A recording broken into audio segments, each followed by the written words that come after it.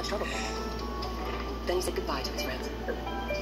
Harold hugged the porcupine very carefully.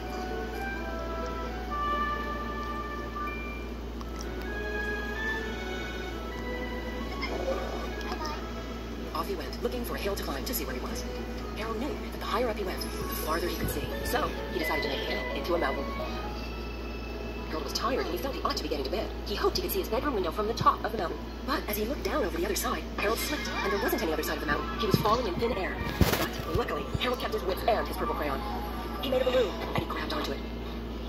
And he made a basket under the balloon big enough to stand in.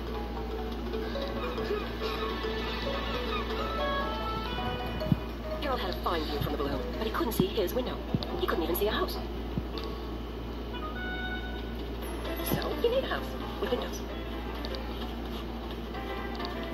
He landed the balloon on the grass in the front yard.